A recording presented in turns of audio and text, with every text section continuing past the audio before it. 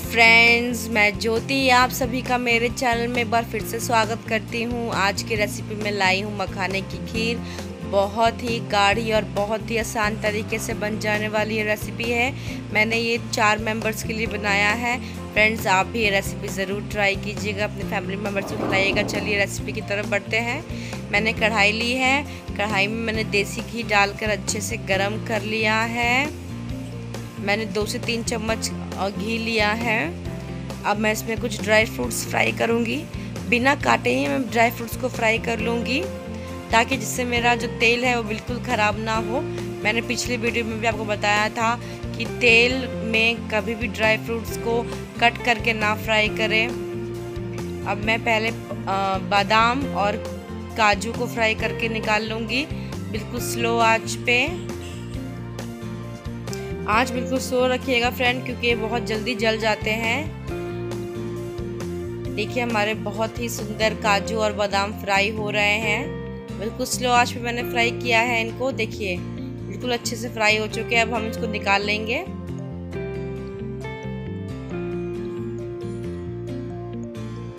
अब हम इसमें डालेंगे किशमिश। इसको भी हम बहुत ही धीमे आँच पे फ्राई कर लेंगे।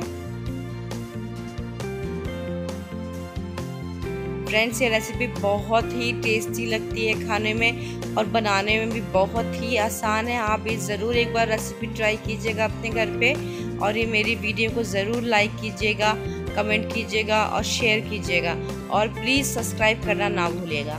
मैंने एक का, एक कटोरी के हिसाब से मखाना लिया है। मखाने को मैं अच्छे से उसी घी में फ्राई कर लूँगी जिसमें मैंने ड्राई फ्रूट्स फ्राई किए थे। इसको बिल्कुल लो मीडियम फ्लेम में हमें फ्राई करना है और जब तक फ्राई करना है, जब तक ये बिल्कुल अच्छी तरीके से कड़क ना हो जाए, जो हाथों से टूटने लगे, उतने अच्छे से फ्राई हो जाने चाहिए हमारे मखाने। देखिए, मखाने बिल्कुल हल्का ब्राउन हो चुका है। अब हम इसमें निकाल लेंगे और अब हम उस मखाने को जो हमने फ्राई किया था घी में, उसको अब हम मिक्सर जार में अच्छे से पीस लेंगे। दर दरा पीसिएगा फ्रेंड्स, ज़्यादा पाउडर बनाने की हमें ज़रूरत नहीं है। बिल्कुल दरदरा रखिएगा। इसी के साथ मैं इसमें इलायची भी पीस दूँगी। इलायची, आप आप ऑप्शनल है बिल्कुल ये स्टेप आप इलायची पाउडर का भी इस्तेमाल कर सकते हैं। अब मैंने उसी कढ़ाई में वापस, उसी कढ़ाई को मैंने वापस गर्म किया और मैं उसमें एक से दो कप दूध ले रही हूँ। दो कप दूध लिया है मैंने। दो कप दूध लिया है, इसको मैं अच्छे से पका करके एक कप कर, करना है हमें इस दूध को।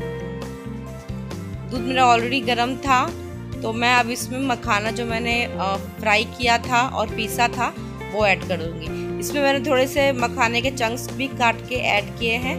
आप भी ऐड कीजिए, बहुत ही अच्छा लगता है। अब मैं इसको दूध में मिला दूँगी और अच्छे से पकाऊँगी।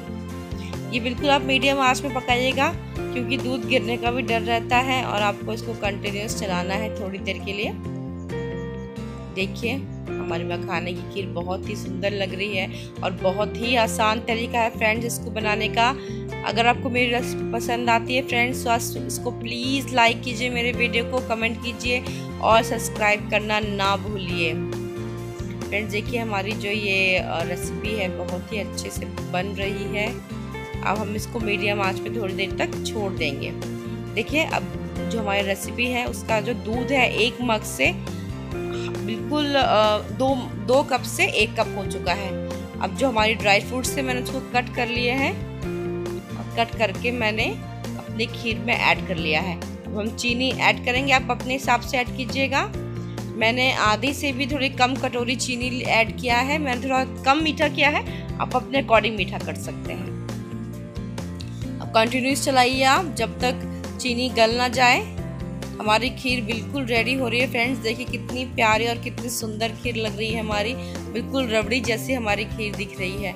ये खाने में भी उतनी ही टेस्टी लगती है और उतना ही टेस्ट, उतना ही आसान इसको बनाना भी है। देखिए फ्रेंड्स हमारी खीर बिल्कुल रेडी हो गई है। वाह और इसमें बिल्कुल भी हमको ज़्यादा मेहनत नहीं करनी पड़ी। देखिए फ्रेंड्स बहुत ही गाढ़ी और बहुत ही स्वाद वाली खीर हमारी रेडी हो गई है। चलिए अब हम इसको सर्व करते हैं।